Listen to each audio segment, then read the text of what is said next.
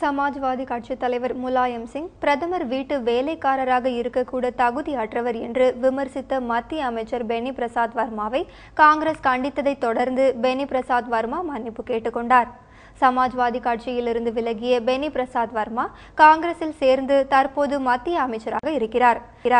இந்த நிலையில் உத்தரப்பிரதேச மாநிலம் பைசாபாத் நகரில் நடந்த நிகழ்ச்சியில் பெனி பிரசாத் வர்மா பேசுகையில் முலாயம் சிங் பிரதமராகி விடலாம் என்ற கனவில் மிதக்கிறார் என்றும் அவர் ஒருபோதும் பிரதமராகிவிட முடியாது என்றும் பிரதமர் மன்மோகன் சிங்கின் வீட்டு வேலைக்காரராக கூட இருக்க தகுதியற்றவர் என்றும் முலாயம் சிங் என்று பேசி கடுமையாக விமர்சித்துள்ளார்.